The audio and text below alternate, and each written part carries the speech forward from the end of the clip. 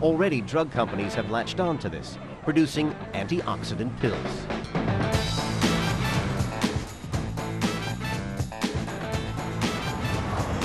Nowhere are they more popular than in California. Here, people spend millions of dollars trying to look younger and live longer.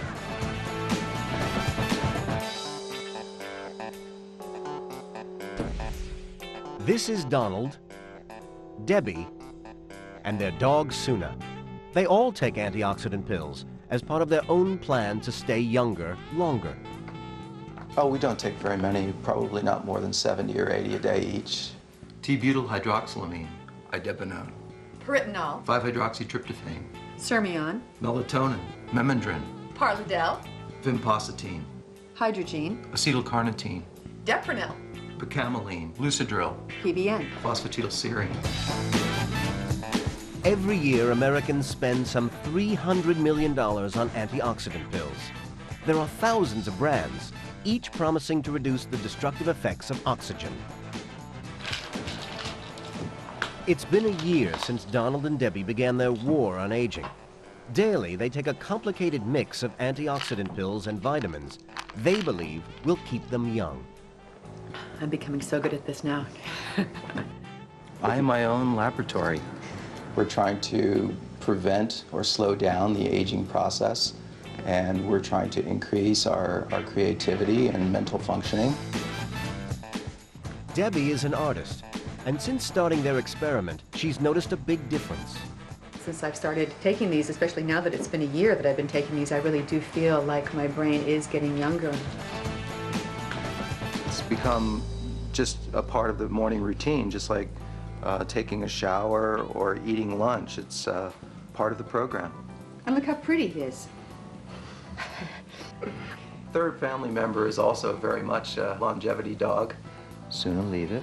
And we give her the same anti-aging medicines that have been proven effective in extending lifespan of animals. Okay. Donald and Debbie are continually trying out new pills. Just got in a new shipment of smart pills. They buy them over the internet. For the three of us, we probably are spending somewhere around five or six hundred dollars a month. Donald and Debbie are convinced it's money well spent.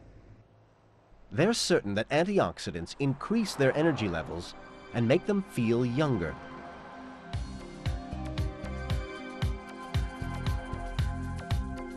For Donald and Debbie, it's a lifelong experiment.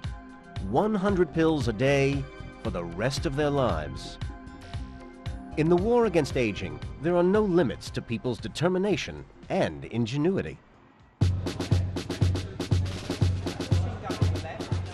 On another front, military strategist Michael Young is fighting the same war.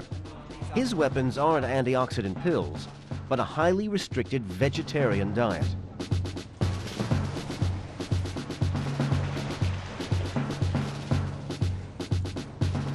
Michael Young is in training to live an exceptionally long and healthy life. He's not as fit or strong as the men he's swimming with, but despite outward appearances, he's convinced he will win the race for longer life.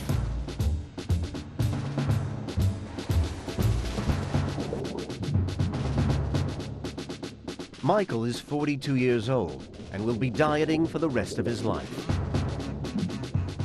He eats fewer than 1,500 calories a day. It's essentially it's an attempt to grow older more slowly, really, and to minimise the dangers from all these degenerative diseases that are going to happen by the time most people are 60 or 70. They're going to start, and I want them to start a little bit later in my life, and that's what I'm on this diet for.